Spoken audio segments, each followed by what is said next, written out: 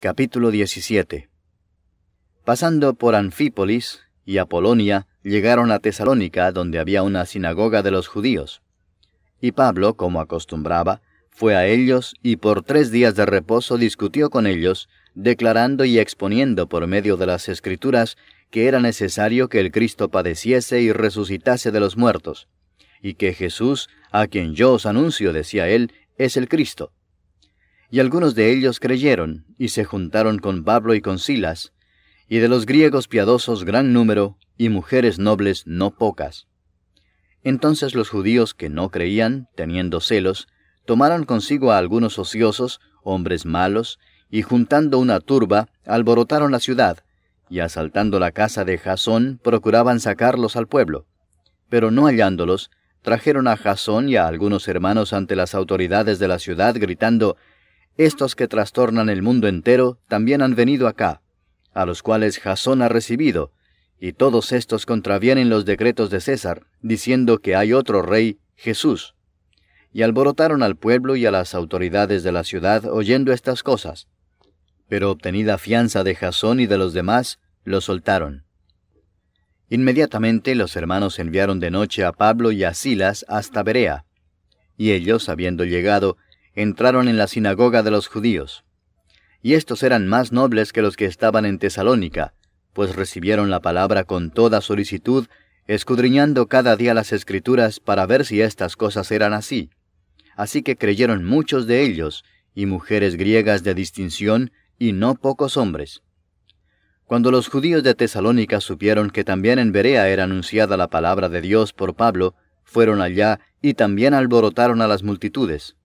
Pero inmediatamente los hermanos enviaron a Pablo que fuese hacia el mar, y Silas y Timoteo se quedaron allí.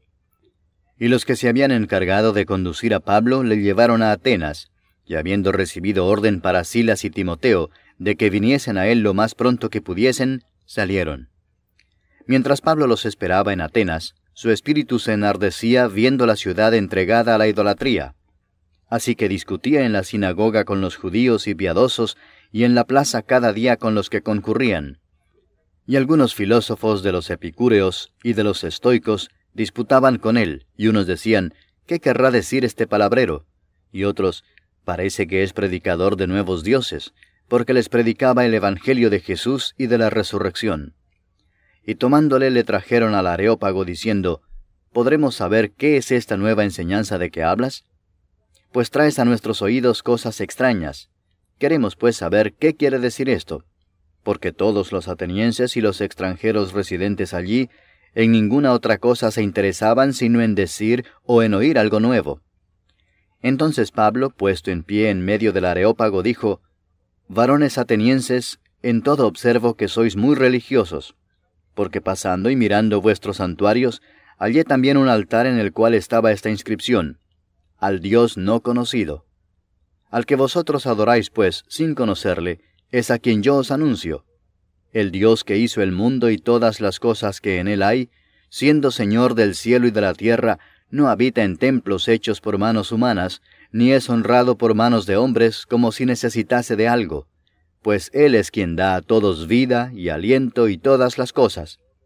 Y de una sangre ha hecho todo el linaje de los hombres para que habiten sobre toda la faz de la tierra, y les ha prefijado el orden de los tiempos y los límites de su habitación, para que busquen a Dios si en alguna manera, palpando, puedan hallarle, aunque ciertamente no está lejos de cada uno de nosotros. Porque en Él vivimos y nos movemos y somos, como algunos de vuestros propios poetas también han dicho, porque linaje suyo somos. Siendo pues linaje de Dios, no debemos pensar que la divinidad sea semejante a oro, o plata, o piedra, escultura de arte y de imaginación de hombres.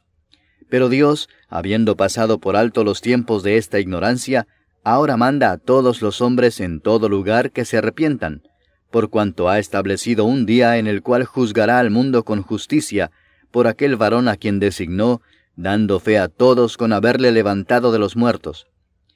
Pero cuando oyeron lo de la resurrección de los muertos, unos se burlaban y otros decían, Ya te oiremos acerca de esto otra vez.